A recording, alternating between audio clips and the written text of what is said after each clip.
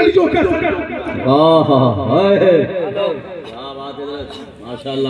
داؤد تائی اور فضیل ابن عیاض بزرگ بیٹھے۔ تھے اللہ۔ جو اس مٹی سو چھوٹے تھے تو سونا بن جاتی تھی۔ جن کی مزار شریف مکہ شریف مالا قبرستان میں اما خدیت الکبرا کے قدمین شریفین میں۔ سبحان اللہ ماشاءاللہ۔ فضیل ابن عیاض۔ یہ سلسلہ چشت حضور غریب نواز کے شیوخ میں سے۔ نام لوں تو بات بہت بڑھ جائے گی توجہ چاہتا ہوں اتنا جان لیا۔ ایسے ایسے لوگ بیٹھے تھے چودہ سال کا نوجوان کہتا ہے امام اعظم سے ملنا ہے اندر چلے جاؤ حجرے میں۔ گئے دیکھے تو آپ سجدے میں۔ فارغ ہوئے عبادت سے۔ کہا کون ہو بیٹا؟ کہاں سے آئے ہو؟ کہا حضور کوفے کا رہنے والے کہا نام کیا ہے؟ کہا میرا نام محمد ہے۔ علماء کی توجہ چاہتا ہوں۔ محمد کہا یہی وہ بچہ ہے جو امام اعظم کے صفحے اول کا شاگرد ہے جسے دنیا امام محمد کہتی ہے۔ نعرے تکبیر نعرے رسالت فیضان مدینہ شریف۔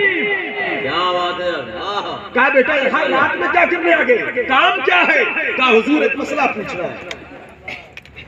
مسئلہ پوچھنا ہے مسئلہ سوال دیکھیں سوال اتنا بڑا ہے تو جواب کتنا بڑا ہوگا اللہ کیا بات ہے؟ ماشاءاللہ۔ کہا حضور اگر نابالغ بچہ عشاء کی نماز پڑھ چکا ہو عشاء کی نماز پڑھ کر وہ سو جائے آنکھ کھلے تو وہ بالغ ہو چکا اور عشاء کا وقت پایا گیا مطلب آٹھ بجے آپ نے عشاء کی نماز پڑھ لیا سو گئے بارہ بجے آنکھ کھلی تو آپ بالغ ہو چکے۔ بلوغیت کے آثار ظاہر ہوئے۔ آپ کے وجود میں آپ کے جسم سے۔ آپ بالغ ہو چکے تھے۔ عشاء کی نماز صبح طلوع فجر تک ہے۔ ابھی چار پانچ گھنٹہ ٹائم باقی ہے۔ عشاء کی نماز پڑھ چکا بندہ۔ اور وہ نابالغ تھا۔ آنکھ کھلی تو بالغ ہو چکا۔ وقت عشاء بھی باقی ہے۔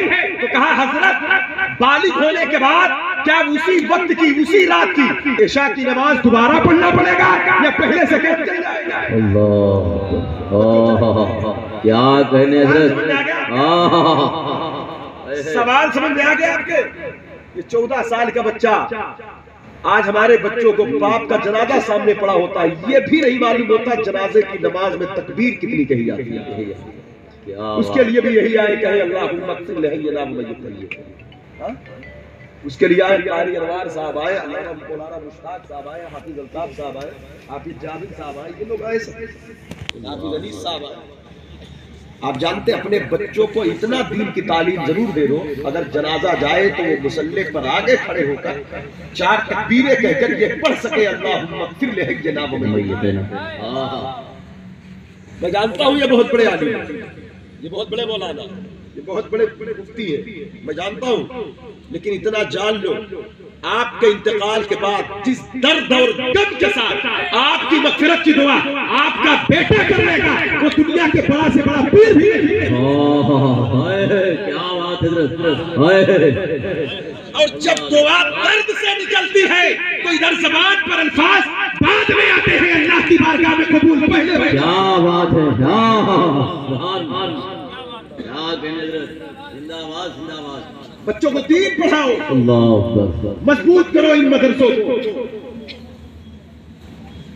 اللہ مفکر اسلام علامہ قمر الزمان اعظمی نے درد کا دکھڑا گایا ہے اپنے ایک انٹرویو میں۔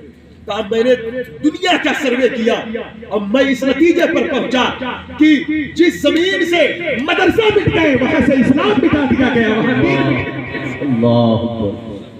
اللہ اللہ۔ یاد کیا سے بچوں کو جوڑو کیا پیغام ہے زندہ باد۔ اپنے آپ کو جوڑو اس سے۔ اور پڑھانے کے بعد بچے جنازہ پڑھانا جان جائیں۔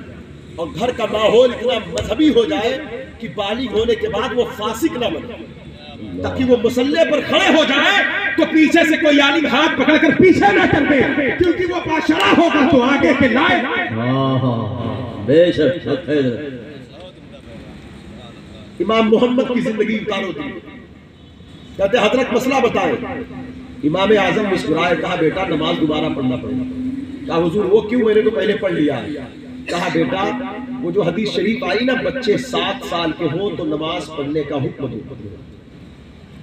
دس سال کے ہو جائیں تو انہیں سختی سے مار کر نماز پڑھا۔ بندہ بالغ ہوگا، بارہ سے لے کر پندرہ۔ تک لڑکی کی جو عمر نحیز بلوغیت کی اسلام نے جو مدت رکھا ہے، نو سے بارہ۔ رکھا ہے لڑکوں کی جو ہے وہ بارہ سے پندرہ تک تیرہ میں ہو سکتا ہے چودہ میں ہو سکتا ہے پندرہ میں تو ہو جائے۔ تو کہا بیٹا وہ جو مدت دی گئی سات اور دس والی وہ فرض نہیں ہے وہ عادت ڈالنے کے لیے ہوگی کیونکہ مدینے والے مصطفیٰ گنبد خزرہ کے مکی یہ چاہتے ہیں میری امت کا ہر فرد بالغ بعد میں ہو نمازی پہلے ہو۔ سبحان اللہ۔ نعرہ تکبیر نعرہ رسالت۔ اسلام ہمارا۔ زندہ باد۔ زندہ تب باد جوان بعد میں ہو نمازی پہلے ہو جائے۔ عادی پہلے ہو جائے۔ کیونکہ جس دن وہ بالغ ہوگا اسی دن یہ افضل العبادات اس پر فرض اللہ۔ فرشتوں کا قلم اس پر مسلط کر دیا جائے۔ فرشتوں کے حکم و قلم اس پر چلنا لگے۔ اس کی سانسیں لکھی جائیں گی اس کی ادائیں لکھی جائیں گی۔ کہ حضور ایسا ہے نماز فرض ہے۔ ادھر دیکھیں ادھر دیکھیں ادھر دیکھیں ہنسنے کی بات نہیں رونے کی بات۔ خاص کر میری تقریر میں کوئی ہنستا ہے تو مجھے بہت دکھ ہوتا ہے۔ نہ میں ہنسی کروں میں اپنے ممبر والوں سے بھی کہتا ہوں بند کرو کھیل تماشے یہاں سے۔ کیا ہنسنے کی جگہ ہے یہ نہ کھیلنے کی جگہ ہے نہ شور شرابے کی جگہ ہے۔